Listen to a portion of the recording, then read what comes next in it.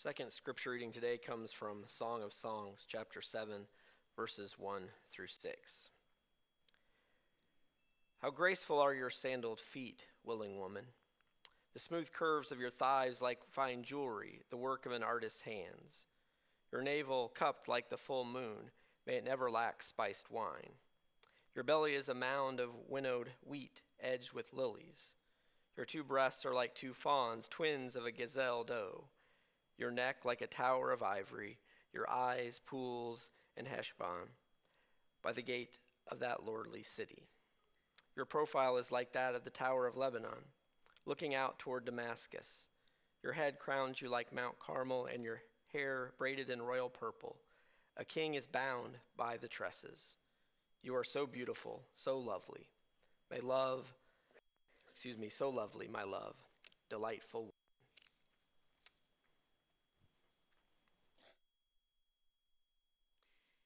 And don't forget to take a look at the Faith First. It's in your worship folder. It's also on the website now. So if you'd like to carry on the conversation, we begin now.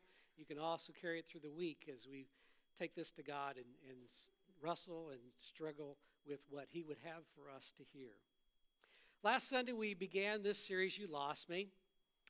And Pastor Aaron did an excellent job sharing the problem that we're facing. The fact that we have a generation now, those persons, the millennial generation, that typically are marked by those persons born from 1982 to 2004. It represents around 77 million people, the largest generation ever in our country. And the problem is, they seem to be leaving the church in droves, even those who were raised up in the church. The message is based upon the research by David Kinnaman and the Barna Group. And out of that research came two books. One was called Unchristian, which focuses on the millennial generation as a whole. And I think you'll find if you read that book that the, the complaint's a little more hostile than what you find in You Lost Me because it represents those persons raised in the church. At least they know what they're dealing with in those. And in these two books, they help us to see that, and, and this is so important. If you're of my generation or older, we need to realize that this is a new problem. This isn't just the typical people going away off to college and then sowing their oats during their young adult years, and then hopefully they'll come back when they start having children. The world has changed, it is different, and they're not coming back like they used to. The problem is much deeper, and it's not something you're going to solve by offering a, a, a, new worship service with some new type of music and technology. It runs much, much deeper. If you missed last Sunday, I invite you to go to the website and look up Pastor Aaron's sermon because he did an excellent job. And I think it's better read than, than heard because there's so much in it. And, and re, relearn that. And, and if you even heard it, you might want to do it again because there's so much to grasp, to understand, especially if you're not of the millennial generation. Now, last Sunday, Pastor Aaron mentioned that there's three words that probably help define this generation. It's not true of everybody, but at least it helps define their experience. And those words are access, alienation, and authority. Let me just speak on a couple of those. Access is so critical for us to face because we have to realize this is now a generation that's so plugged in with smartphones, laptops, iPads. They have information at their fingertips constantly. I mean, as good as the preaching is in this building, what are you laughing for? The reality is, you can go online and you can find far better preachers and far better sermons. And what's even more important is there are resources that put them in touch with, with sources all over the globe and from other religious perspectives. So when young people come to the church these days, they're not necessarily looking for detailed information, they're looking for wisdom. They're looking for who they, they can listen to. What are the voices they should pay attention to? And realize that they will probably find truth more in community It'll be found in relationship. And so it changes so many of the things we need to do in the church. It means they're looking for faithful conversations more than they're looking for a good sermon. And the other is authority. And because they are now probably the third generation in a row that has experienced a declining trust in institutions of all kinds, after Watergate, Vietnam, after scandals that show up in the news of politicians and of preachers, people don't trust institutions like they used to, even the institution of marriage. And, and so, with that authority, it means things have changed. I, remember when I had walked into a, a, a restaurant of a small town, there was a certain amount of respect that people had for the pastor. Because it used to be that pastors were probably one of the most educated persons in the community. But now, because of all that has happened, I make sure I don't tell people I'm a pastor if I walk into a party or someplace. I want them to experience me as a person first to realize then that at least there's somebody they can be themselves with. So, access and authority are, are two dramatic issues that we need to face. Last Sunday, Pastor Aaron hit on the first two complaints of the six that we're going to share in this series.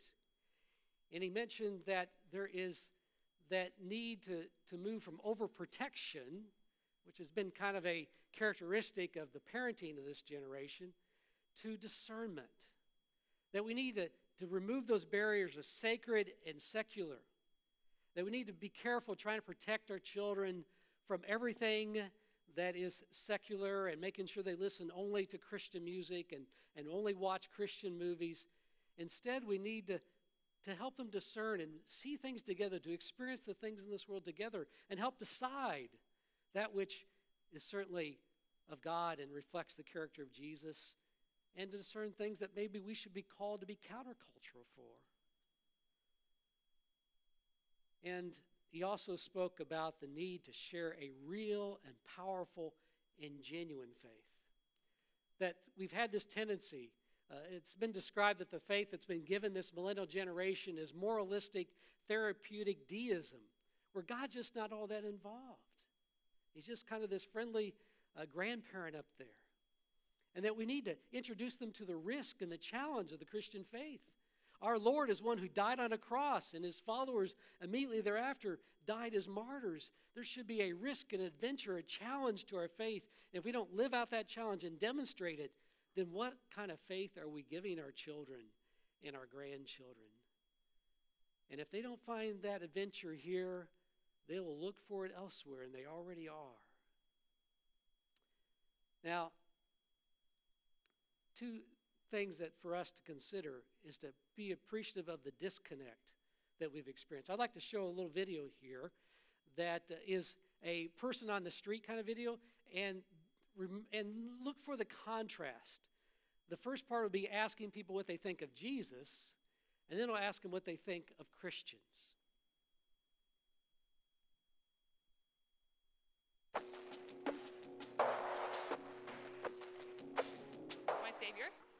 Good guy. Um, love, compassion, um, diversity.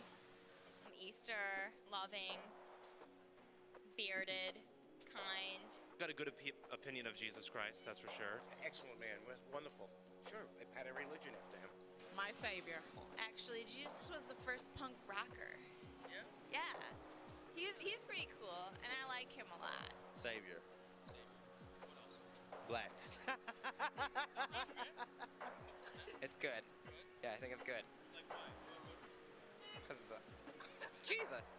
What else would you think of? Um, definitely um, altruistic philanthropy. loving, peaceful, sincere.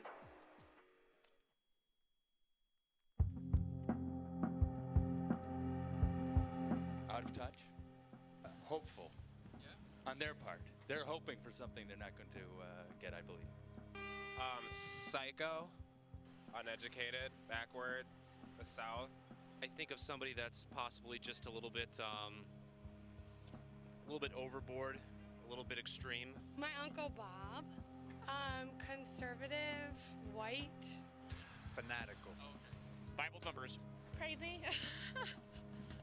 People who wear white and like kind of glow, but are kind of freaky. Yeah, and um, Texas. I think I think there's a lot of stig- stigma attached to that word. I can't answer that. Crazy. Okay. Frightening. Yeah. Yeah. I just overpowering. Yeah. You don't want to know. Somewhat scary. Um, maybe a little rigid in their full, in their dogma and their philosophy. Oh, um, nothing too good.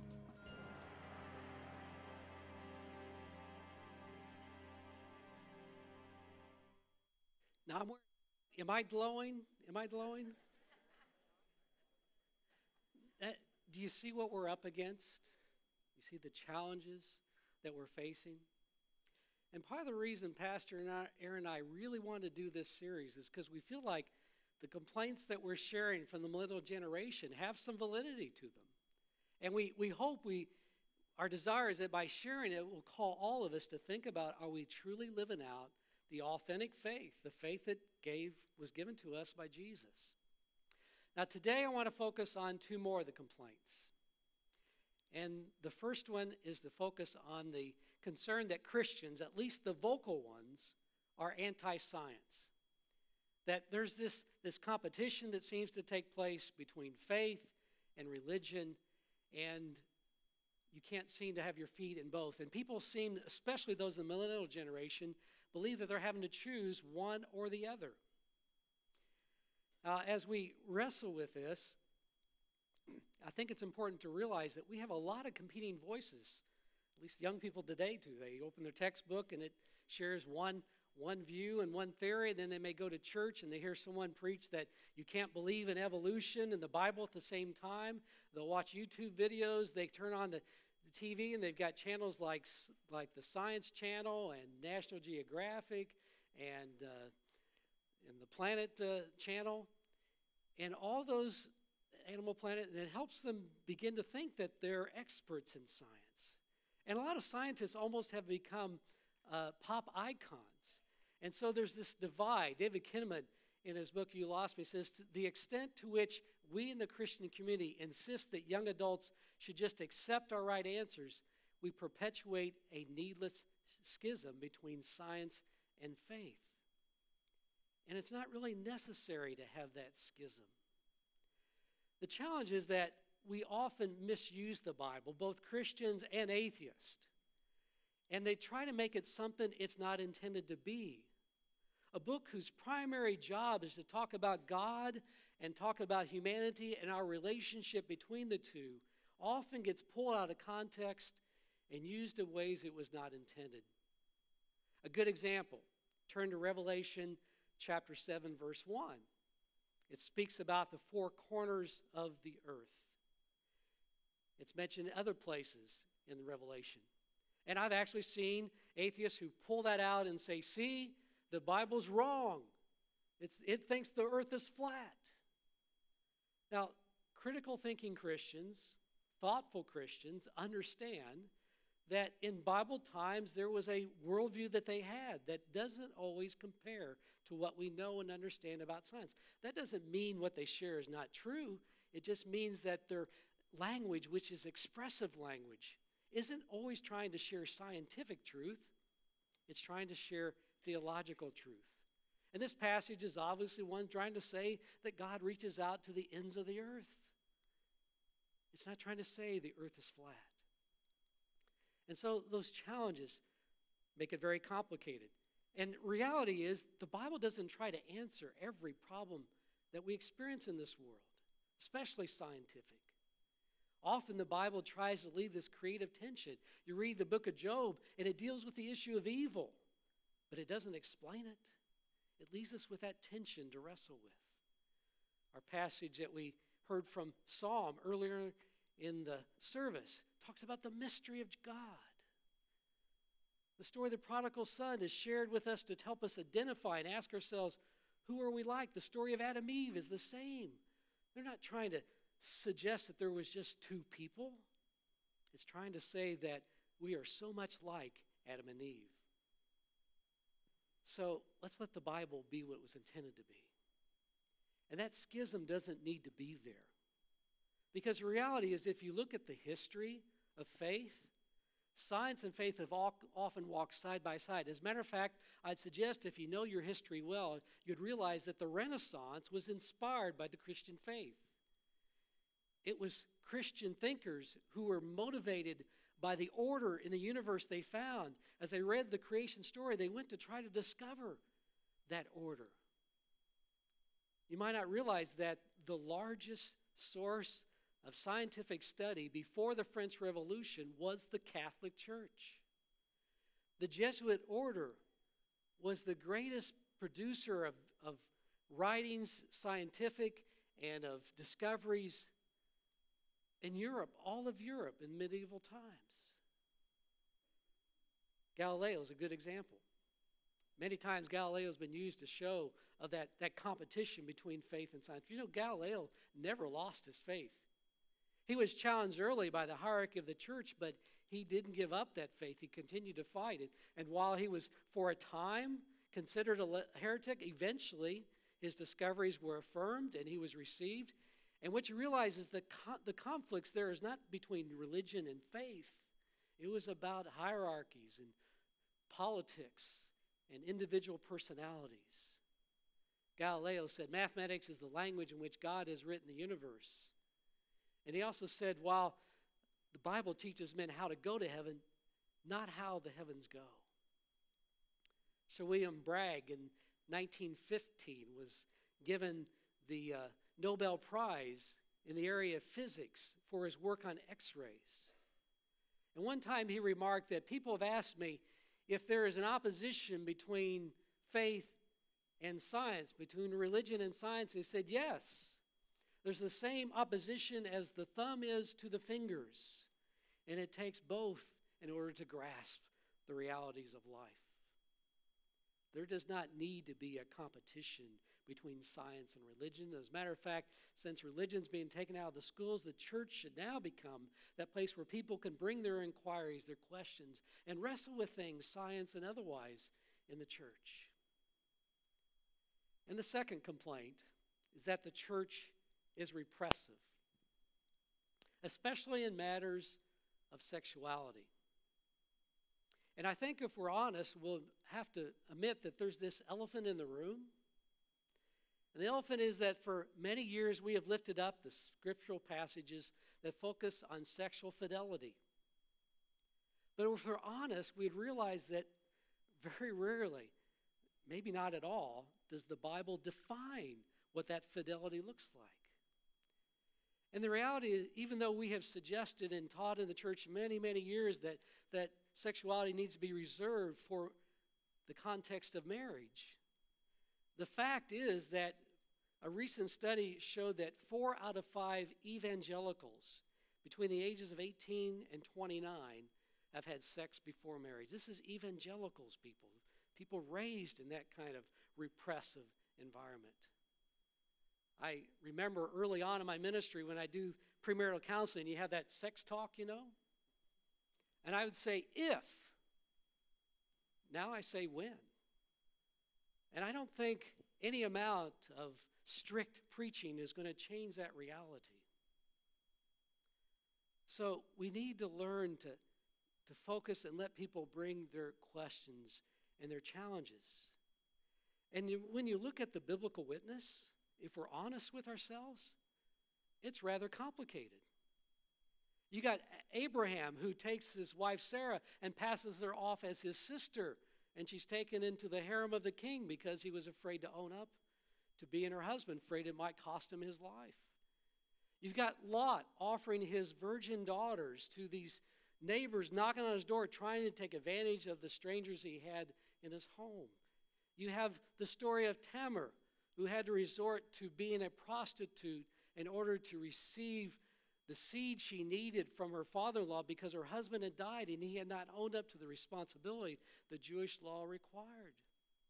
You got the stories of Jacob and Isaac, who had many wives. Matter of fact, those wives were what produced the 12 tribes of Israel.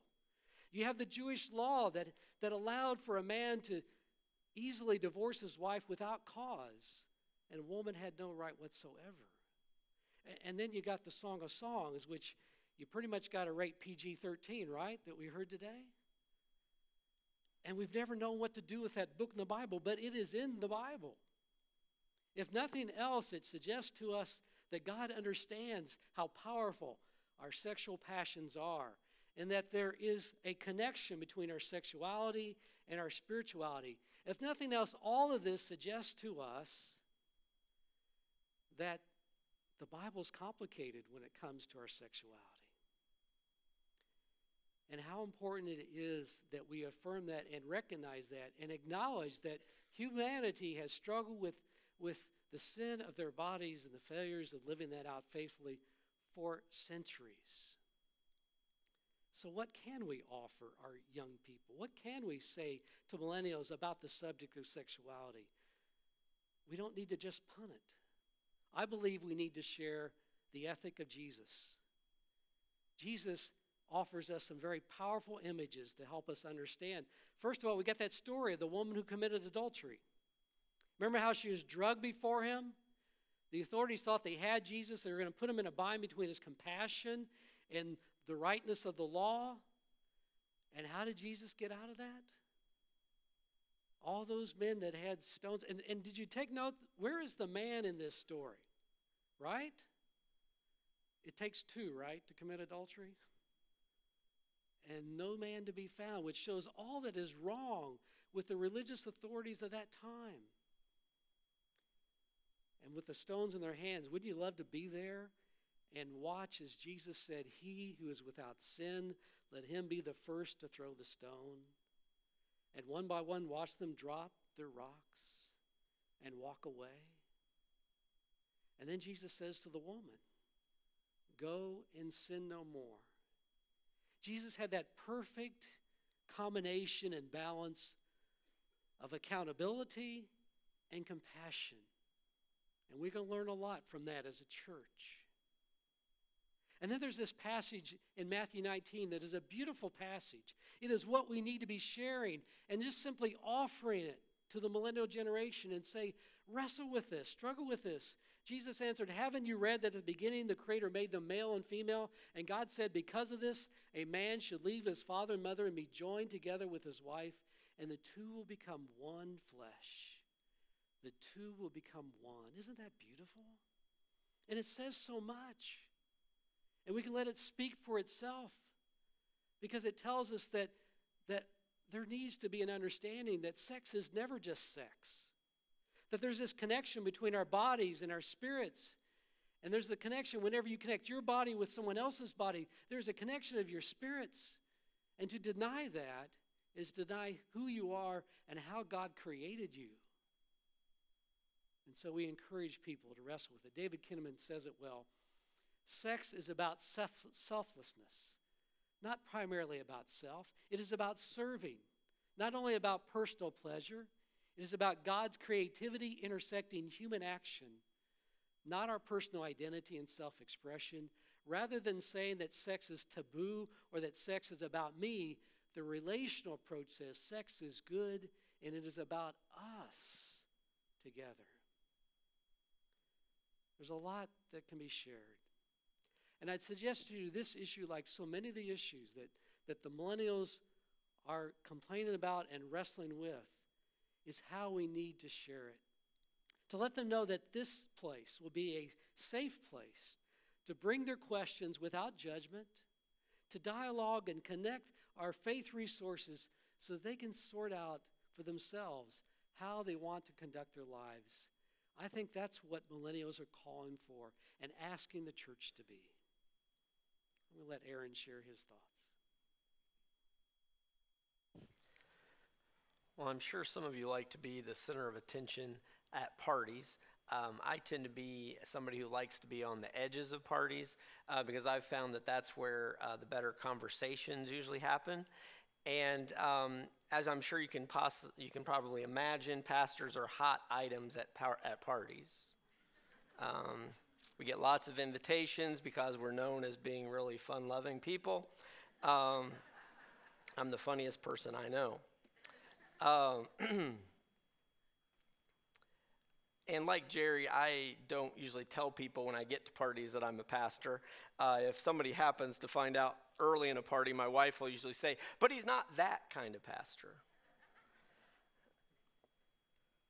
but once people find out, and I've kind of been hanging out with them on the edges after they apologize for a few off color things they've said, which is another thing. I don't know why everybody does that, but anyway, they do. Um, and then they usually tell me why they haven't been to church for a while, and you know happens at Kroger sometimes too. But anyway, um, but once they find out I'm a pastor and I'm not that kind of pastor and I'll actually listen to them, they start sharing things that are kind of interesting to me. And some of the things that people share, have shared fairly recently with was one person told me, I can't believe or I can't be a Christian because I don't believe in the virgin birth. Or another person said, I can't be a Christian because I believe the geolo- geological record is more accurate than the Creation Museum folks who say the earth is only 6,000 to 10,000 years old. Do you really think that God would just make rocks look 4.5 billion years old? Doesn't God really have anything better to do? Or do I really need to get married today? I'm deeply committed to my partner. Isn't that really what matters? Or why does the church not let all people who are in committed relationships and desire to be married actually get married? And questions like these are difficult for us. Uh, they can become conversation killers and deepen divisions if we answer uh, quickly or don't answer at all. Or they can become opportunities for deep listening and um, honest conversation. Um, that's what usually happens when people say things to me and I don't react in the way that they expect. I love doing that, first of all, because people think they're going to shock me with what they say. Uh, or they say, Well, I'm an atheist, you know, and I, okay. Yes. Um, and then usually by the end I tell them, and God loves you anyway, and there's nothing you can do about it. But, um, which is true. But I do that in a joking way. But because I'm open to conversations and I don't jump down their throat or give them an easy answer right off the bat, um, you kind of dig and you kind of hear where um, they're coming from.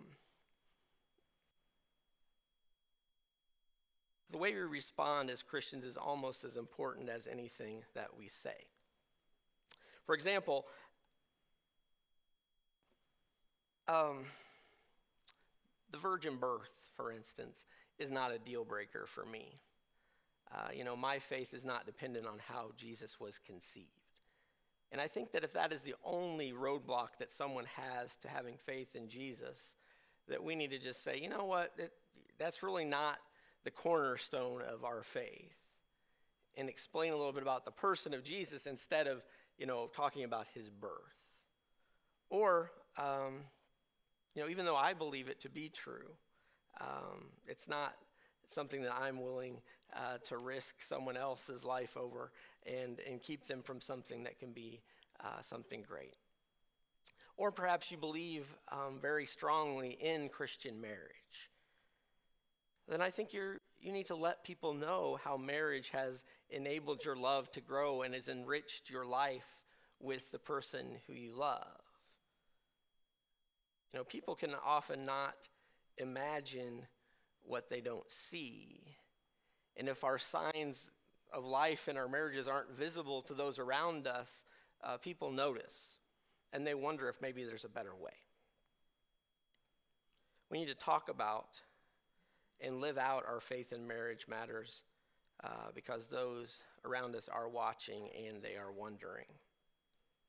And if you think differently than someone else, um, be honest about how you came to the place where you um, are on a particular topic or issue. Share your experiences and listen to the experiences of others too.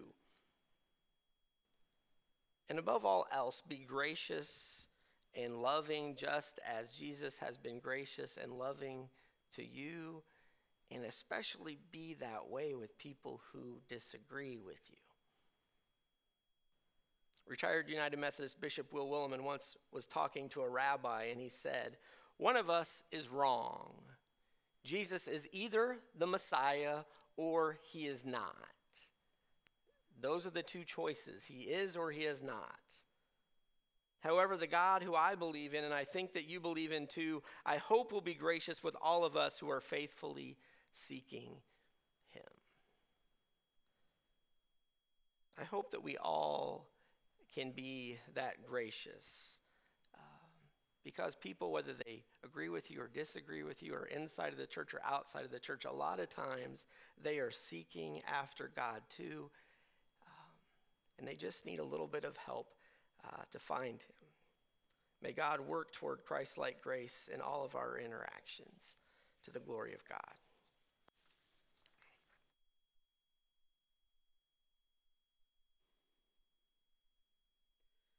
Lord, we ask that you put a blessing upon this congregation, wherever we may gather, that it can become a safe place for every generation, that they can bring their questions, their doubts, their struggles, and find the connections to our resources and the faith that can truly change and transform their lives. As we go out into the world, let us be humble not professing to have all the answers, but at least having some answers that have meant something to us and be willing to share those faithfully when and how they need to be heard. This we ask in the name of your Son, who is our Lord, Jesus Christ. Amen.